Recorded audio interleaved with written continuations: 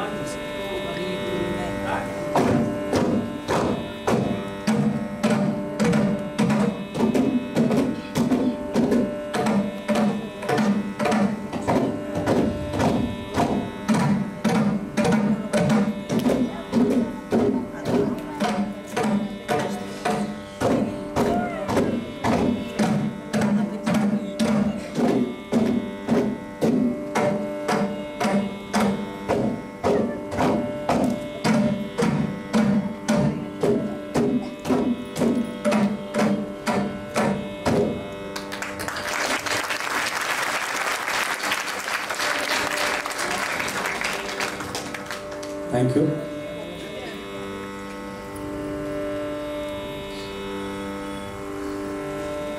Satyanarayana V. Madhavan Raghavan. Aditya B. P. Satish B. V. Niranjan Ramani. Vedant Bharadwaj.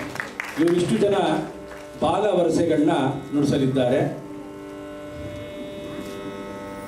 One two three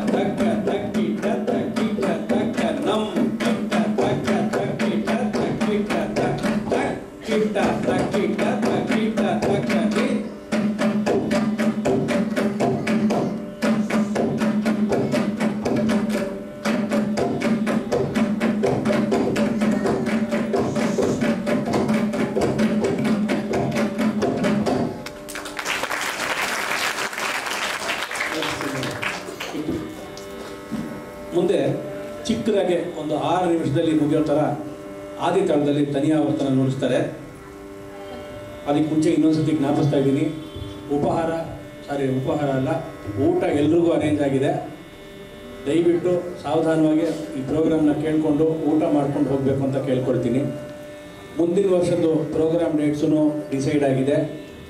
October ಇಪ್ಪತ್ತೆಂಟು, ಇಪ್ಪತ್ತೊಂಬತ್ತು, ಈ ಸಾರಿ October ಇಪ್ಪತ್ತೊಂಬತ್ತು, ಮೂವತ್ತು, ಮೂವತ್ತೊಂದು, ಒಂದು, ಎರಡು ನವೆಂಬರ್ ಟೂ ತೌಸಂಡ್ ಫೋರ್ಟೀನ್ ನಮ್ಮ ಫಿಫ್ಟೀನ್ತ್ ಇಯರ್ ಆ್ಯನಿವರ್ಸರಿ ನಡಿಬೇಕು ಅಂತ ನಾವು ಅಂದ್ಕೊಂಡಿದ್ದೀವಿ ಅದು ಹಾಗೆ ಆಗುತ್ತೆ ಅಂದ್ಕೊಂಡಿದ್ದೀವಿ ಕೊನೆಯಲ್ಲಿ ಒಂದು ಎರಡು ಸಂಡೇ ಸಾಟರ್ಡೆ ಸಂಡೇ ಬೀಳೋದ್ರಿಂದ ನಮಗೆ ಭಾಳ ಅನುಕೂಲ ಆಗಿದೆ ಅದು.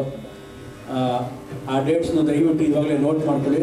Definitely there is not going to be any change in the dates it is on twenty ninth thirtieth thirty first of October two thousand fourteen and first and second of November two thousand fourteen thank you we have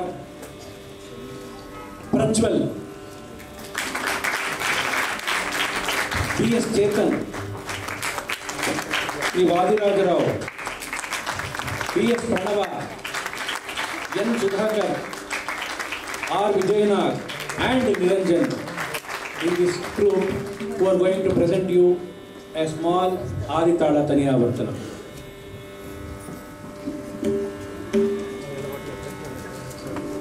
Prajwal ಈ ಮೈಕ್ನ ನೋಡು ಸುಮ್ಮನೆ ಹಾಂ okay Chetan ಬಿಡ್ಸಪ್ಪ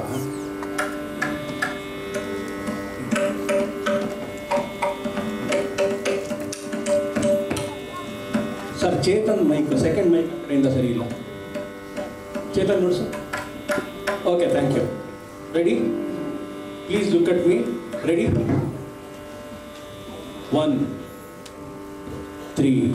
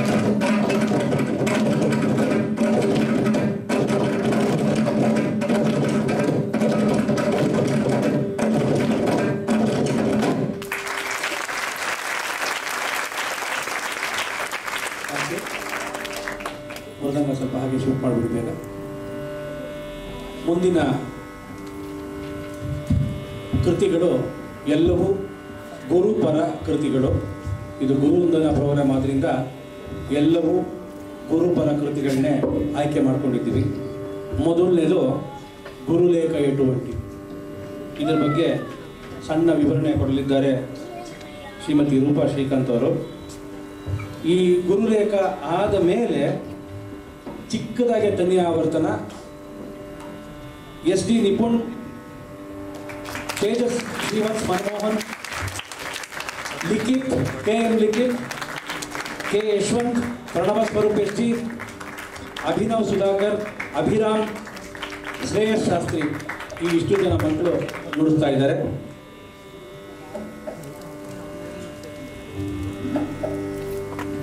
Roopa Srikanth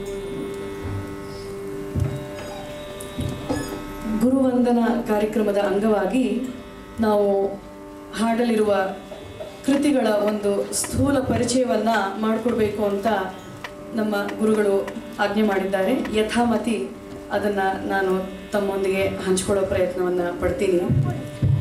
ಮೊದಲಿಗೆ ಗುರು ಈ ಒಂದು ಶಬ್ದದ ಅರ್ಥ ಅದ್ರ ಬಗ್ಗೆ ನಾವು ನೋಡಿದಾಗ ಗು ಅನ್ನೋ ಒಂದು ಪದದ ಅರ್ಥ ಅಜ್ಞಾನ. ಅಜ್ಞಾನ ರೂಪಿಯಾದಂತಹ ಅಂಧಕಾರ. ರು ಎಂಬ ಪದದ ಅರ್ಥ ಜ್ಞಾನ ರೂಪಿಯಾದ ಪ್ರಕಾಶ. ಇದು ಸರಳವಾಗಿ ಎಕ್ಸ್ಪ್ಲೇನ್ ಮಾಡುವಂತಹ ಒಂದು ಪದ, ಗುರು. ಆದರೆ ಗುರು ಎಂಬ ವ್ಯಕ್ತಿತ್ವ ಇದರ ಪರಿಚಯವಾಗಲಿ ಇದ್ರ ಬಗ್ಗೆ ಹೇಳೋದಕ್ಕಾಗಲಿ ಸಾಧ್ಯವೇ ಇಲ್ಲ. ದೃಷ್ಟಾಂತೋ ನೈವ ದೃಷ್ಟ ಸದ್ಗುರೋರ್ ಜ್ಞಾನಧಾತು ಅಂತ ಹೇಳೋ ಹಾಗೆ ಗುರು ಎಂಬ ವ್ಯಕ್ತಿತ್ವಕ್ಕೆ ಉಪಮೆಯೇ ಇಲ್ಲ. ಅನುಪಮವಾದಂತಹ ವ್ಯಕ್ತಿತ್ವ ಗುರುವಿನದ್ದು. ಈಗ ಸ್ಪರ್ಶಮಣಿ ಅಂತ ಒಂದು ಫಿಲಾಸಫರ್ ಸ್ಟೋನ್ ಅಂತ ಏನಂತಾರೆ, ಅದಕ್ಕೆ ನಾವು ಅದು ತುಂಬ ಉತ್ಕೃಷ್ಟವಾದಂತಹ ಕ್ವಾಲಿಟೀಸ್ ಆ ಸ್ಪರ್ಶಮಣಿಗೆ ಇರುತ್ತೆ. ಅದು ಹೇಗೆ ಅಂತಂದ್ರೆ ಯಾವುದೇ ಒಂದು ಸಾಧಾರಣವಾದಂತಹ ಲೋಹ ಅದರ ಸಂಪರ್ಕದಲ್ಲಿ ಬಂದರೆ ಆ ಒಂದು ಲೋಹ ಬಂಗಾರವಾಗಿ ಪರಿಣಾಮಗೊಳ್ಳುತ್ತೆ. ಸೊ ಗುರುವನ್ನ ಈ ಸ್ಪರ್ಶಮಣಿಗೆ ನಾವು ಹೋಲಿಸಬಹುದಾ ಅಂತ ಒಂದು ನಿಮಿಷ ಯೋಚನೆ ಮಾಡಿದ್ರೆ ಬಹುಶಃ ಅದು ತುಂಬ ಕಡಿಮೆ ಆಗುತ್ತೆ, ಸರಿ ತೂಗಲಾರದು. ಯಾಕೆ ಅಂತಂದ್ರೆ ಸ್ಪರ್ಶಮಣಿ ಕೇವಲ ಅದರ ಸಂಪರ್ಕದಲ್ಲಿ ಬರ್ತಕ್ಕಂತಹ ಒಂದು ಸಾಧಾರಣವಾದ ಲೋಹವನ್ನ ಮಾತ್ರ ಬಂಗಾರವನ್ನಾಗಿ ಪರಿಣಿಸ್ ಪರಿಣಮಿಸುತ್ತೆ. ಆದರೆ ಒಬ್ಬ ಗುರು ತನ್ನ ಶಿಷ್ಯನಿಗೆ ತನ್ನ ಸಂಪೂರ್ಣ ಸರ್ವಸ್ವವನ್ನು ಧಾರೆ ಎರೆದು ಅವನು ಮುಂದೆ ಇನ್ನಿತರ, ಗುರುವಾಗಿ ಇನ್ನಿತರ ಹತ್ತಾರು ಶಿಷ್ಯರಿಗೆ ಬೋಧನೆಯನ್ನು ಮಾಡುವಂತಹ ಒಂದು ಶಕ್ತಿಯನ್ನು ಕೂಡ ಒಬ್ಬ ಗುರು ತನ್ನ ಶಿಷ್ಯನಿಗೆ ಕೊಡ್ತಕ್ಕಂಥದ್ದು. ಇದರ ಒಂದು ಸಾಕ್ಷೀಭೂತವಾದ ಉದಾಹರಣೆ ಇವತ್ತು ಸಂಜೆ ನಮ್ಮ ಪರಮ ಗುರುಗಳಾಗಿರ್ತಕ್ಕಂತಹ ವಾಸುದೇವರಾವ್ ಸರ್ ಹಾಗೂ ರಾಜಾರಾವ್ ಸರ್ ಇಲ್ಲಿದ್ದಾರೆ. ಅವರ ಶಿಷ್ಯರು, ನಮ್ಮ ಗುರುಗಳು. ಸೊ ನಾವೆಲ್ಲ ಇಲ್ಲಿ ನಿಮ್ಮ ಎದುರಿಗೆ ಒಂದು ಈ ಗುರುವಂದನಾ ಸಮರ್ಪಣಾ ಕಾರ್ಯಕ್ರಮವನ್ನ ಏನು ಪ್ರಸ್ತುತಪಡಿಸ್ತಾ ಇದ್ದೀವಿ ಇದ್ರ ಬಗ್ಗೆ ನಮ್ಮೆಲ್ಲರಿಗೂ ಎಲ್ಲ ವಿದ್ಯಾರ್ಥಿಗಳ ಪರವಾಗಿ ನಮ್ಮ ಗುರುಗಳಿಗೆ ಅವರ ಪಾದಾರವಿಂದದಲ್ಲಿ ನಮ್ಮ ನಮ್ಮ ನಮಸ್ಕಾರ. ಮೊಟ್ಟ ಮೊದಲಿಗೆ ಈಗಾಗಲೇ ಹೇಳಿದಂತೆ ಗೌರಿ ಮನೋಹರಿ ರಾಗದಲ್ಲಿರ್ತಕ್ಕಂತಹ ಒಂದು ಕೃತಿ, ಇದು ತ್ಯಾಗರಾಜರ ಒಂದು ಸುಂದರವಾದಂತಹ ಕೃತಿ, ಖಂಡ ಛಾಪು ತಾಳದಲ್ಲಿ ನಿಬದ್ಧವಾಗಿದೆ. ಪಲ್ಲವಿ ಭಾಗ, ಗುರುಲೇ ಗುರುಲೇಕ ಎಟುವಂಟಿ ಗುಣಿಗಿ ತಿಳಿಯಕಪೋದು. ಅನುಪಲ್ಲವಿ ಕರುಡೈನ ಹೃದ್ರೋಗ ಗಹನಮುನು ಗೊಟ್ಟುನು ಗುರುಲೇಕ ಎಟುವಂಟಿ ಗುಣಿಗಿ ತಿಳಿಯಕಪೋದು.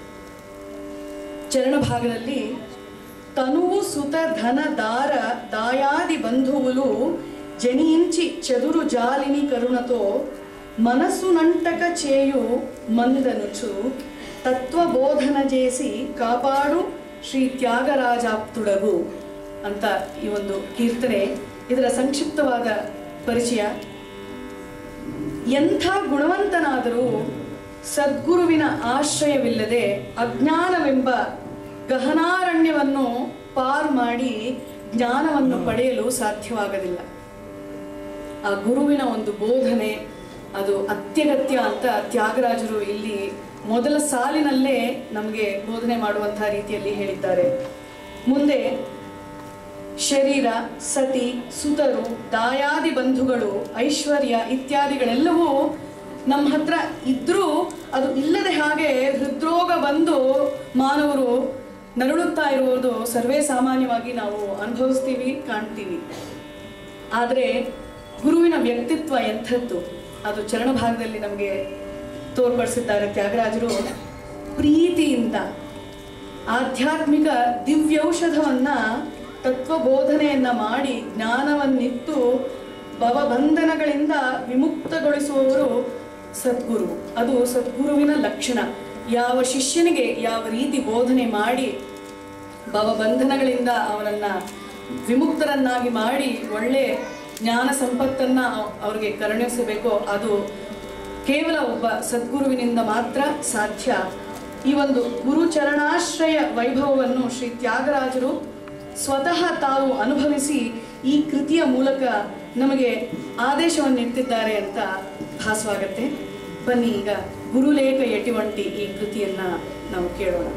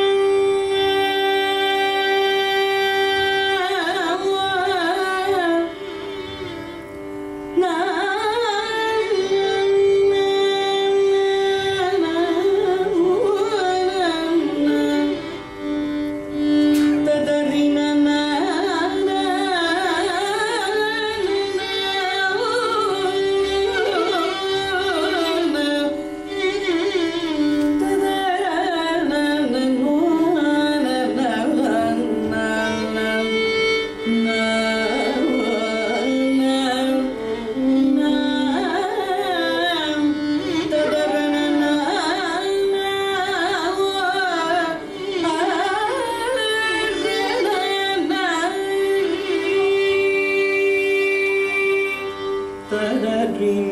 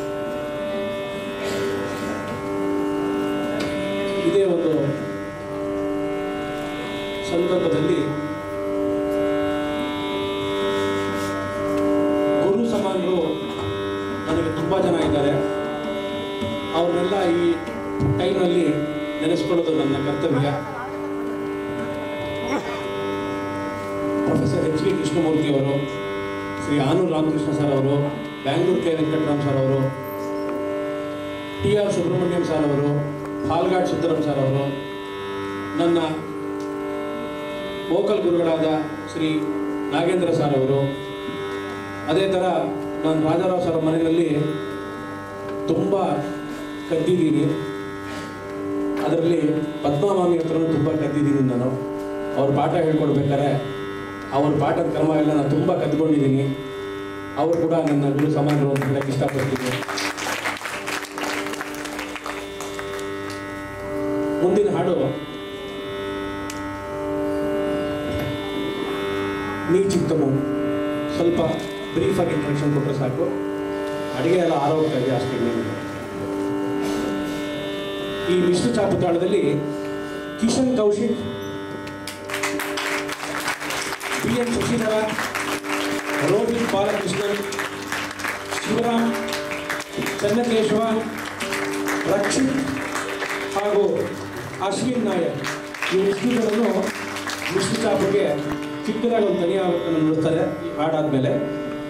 ಈ ತನಿ ಆವರ್ತನದಲ್ಲಿ ಒಂದು ವಿಶೇಷವಾಗಿ ಒಂದು ಕುರುಪು ನುಡಿಸ್ತಾರೆ ಅದು ನಾಲ್ಕು ಆವರ್ತಕ್ಕೆ ಒಂಬತ್ತು ಅಕ್ಷರ ಬಿಟ್ಟು, ಎರಡು ಆವರ್ತಕ್ಕೆ ಆರು ಅಕ್ಷರ ಬಿಟ್ಟು ಒಂದು ಮೂರಕ್ಷರ ಬಿಟ್ಟು ಒಂದು ಚಿಕ್ಕದಾಗಿ ಒಂದು ಕೊರಪನ್ನ ನುಡಿಸ್ತಾರೆ. ಅದೇ ಥರ ಒಂದು ವಿಶೇಷವಾದ ಮೋಹರವನ್ನು ನುಡಿಸಲಿದ್ದಾರೆ. ಬನ್ನಿ ಕೇಳೋಣ ನೀ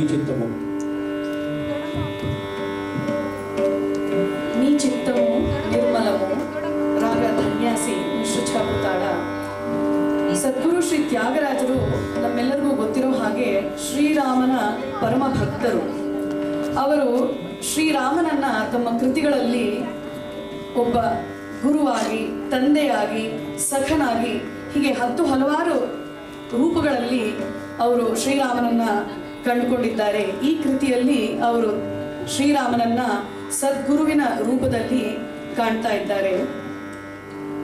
ತುಂಬಾ ಸರಳವಾದ ತೆಲುಗು ಭಾಷೆಯಲ್ಲಿದೆ. ಪಲ್ಲವಿ ಮತ್ತೆ ಅನುಪಲ್ಲವಿ ಮೊದಲು ಓದ್ತೀನಿ. ನೀ ಚಿತ್ತಮು ನಿರ್ಮಲಮು ನಿಶ್ಚಲಮನಿ, ನಿನ್ನೆ ನಮ್ಮಿ ನಾನು ರಾಮ. ಅನುಪಲ್ಲವಿಯ ಭಾಗ, ನಾ ಚಿತ್ತಮು ವಂಚನ ಚಂಚಲಮನಿ, ನನ್ನು ವಿಡವಕು ನಾಟಕುಮಿ ಶ್ರೀರಾಮ. ಇದರ ಅರ್ಥ ತುಂಬಾ ಸರಳವಾಗಿದೆ. ಗುರುವಿನ, ಗುರುವನ್ನ ಉದ್ದೇಶಿಸಿ ನಿನ್ನ ಚಿತ್ತ ನಿರ್ಮಲವಾಗಿಯೂ ನಿಶ್ಚಲವಾಗಿಯೂ ಇದೆ. ನಿನ್ನನ್ನು ನಾನು ಸಂಪೂರ್ಣವಾಗಿ ಮೊರೆ ಹೋಗಿದ್ದೇನೆ ನಿನ್ನನ್ನು ನಾನು ಸಂಪೂರ್ಣವಾಗಿ ನಂಬಿದ್ದೇನೆ ಅಂತಾರೆ ತ್ಯಾಗರಾಜರು ಹಾಗೆಯೇ ಅನುಪಲ್ಲವಿನಲ್ಲಿ, ನಾ ಚಿತ್ತವು ವಂಚನ ಚಂಚಲ ಮನಿ ನನ್ನು ಬಿಡವಕು ಅಂತ ಕೇಳ್ಕೊಂತಾ ಇದ್ದಾರೆ. ತ್ಯಾಗರಾಜರು ನಿಜವಾಗ್ಲೂ ಸಾಮಾನ್ಯ ಮನುಷ್ಯರಾಗಿ ಮದ, ಮತ್ಸರ, ಕಾಮ, ಲೋಭ, ಮೋಹ ಈ ತರ ಅರಿಷಡ್ ವರ್ಗಗಳಿಗೆ ತನ್ನಲ್ಲಿಯೂ ಇದೆ ಅಂತ ಎಷ್ಟೋ ಸತಿ ಎಷ್ಟೊಂದು ಕೀರ್ತನೆಗಳಲ್ಲಿ ಅವರು ತಮ್ಮ ಭಾವನೆಗಳನ್ನ ತೋಡ್ಕೊಂಡಿದ್ದಾರೆ. ಆ ಒಂದು ಕೆಟ್ಟ ಗುಣಗಳು ನನ್ನಲ್ಲಿದೆ, ನನ್ನ ಚಿತ್ತವು ಚಂಚಲವಾಗಿದೆ ಅನ್ನೋ ಒಂದು ಕಾರಣಕ್ಕಾಗಿ ನನ್ನನ್ನ ಅನಾಥನನ್ನಾಗಿ ಅನಾಥನನ್ನಾಗಿ ಮಾಡಬೇಡ ಅಂತ ಇಲ್ಲಿ ಶ್ರೀರಾಮನಲ್ಲಿ ತೋಡ್ಕೊತಾ ಇದ್ದಾರೆ. ಚರಣ ಭಾಗದಲ್ಲಿ ಗುರುವು ಚಿಲ್ಲ ಗಿಂಜ ಗುರುವೇ ಭ್ರಮರವು, ಗುರುಡೇ ಭಾಸ್ಕರುಡು ಗುರುಡೇ ಭದ್ರುಡು ಗುರುವೇ ಯುತ್ತಮ ಗತಿ, ಗುರುವು ನೀವನುಕೊಂಟಿ ಧರಸು ದಾಸುನಿ ಬ್ರೋವ ತ್ಯಾಗರಾಜಾರ್ಚಿತ ಇದು ತುಂಬಾ ವಿಶಿಷ್ಟವಾಗಿದೆ ಈ ಚರಣ ಭಾಗ.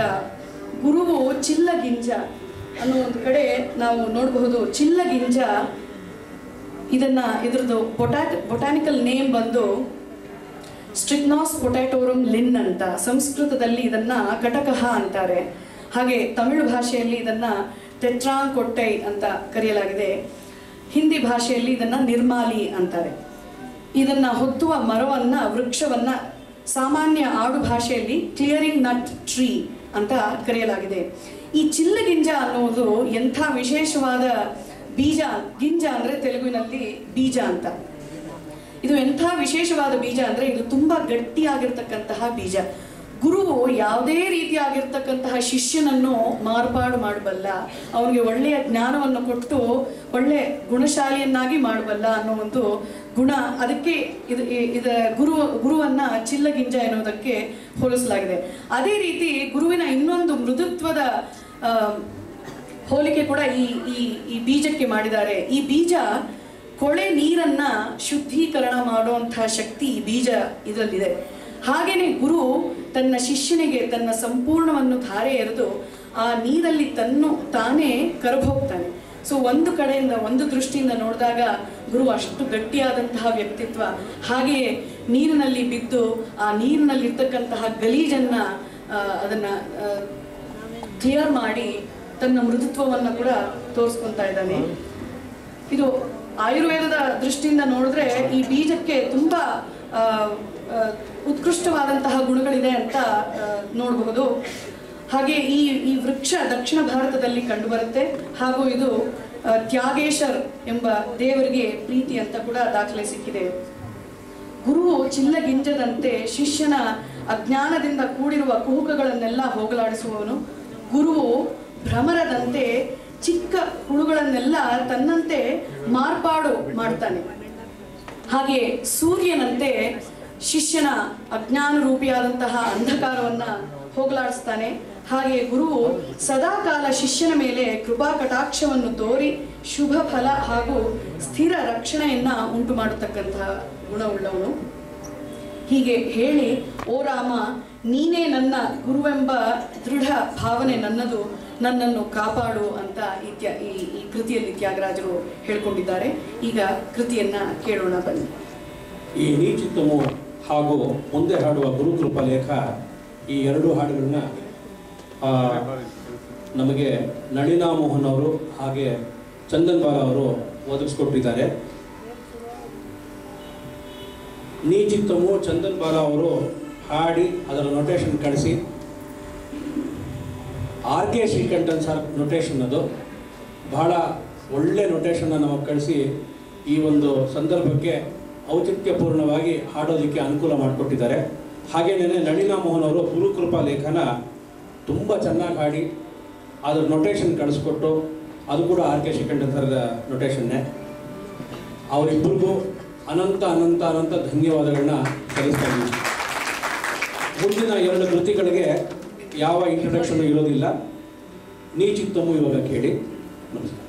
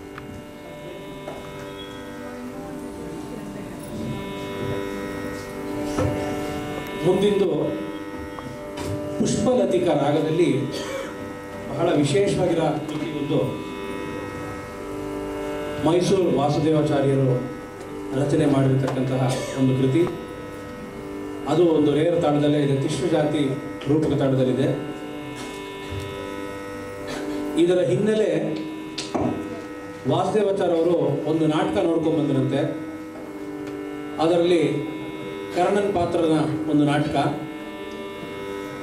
ಅದರಿಂದ ಒಂದು ಪ್ರೇರಣೆಗೊಂಡು ಅರ್ಜುನಿಗಿಂತ ಅರ್ಜುನನಿಗಿಂತ ಕರ್ಣ ಬಹಳ ಸ್ಟ್ರಾಂಗ್ ಆಗಿದ್ರು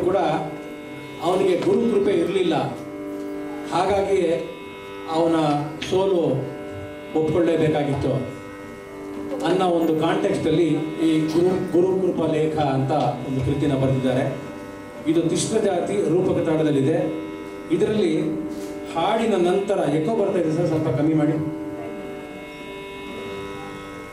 ಹಾಡಿನ ನಂತರ ಇದೇ ತಾಳದಲ್ಲಿ ಚಿಕ್ಕದಾಗಿ ಒಂದು ಧ್ವನಿ ಆವರ್ತನ ನುಡಿಸ್ತಾರೆ.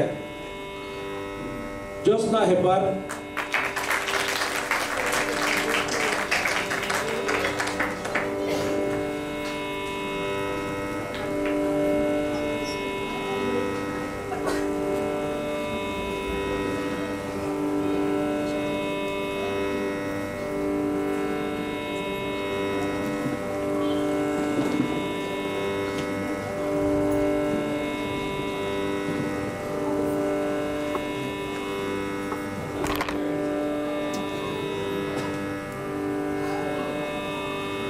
Jyotsna Hebbar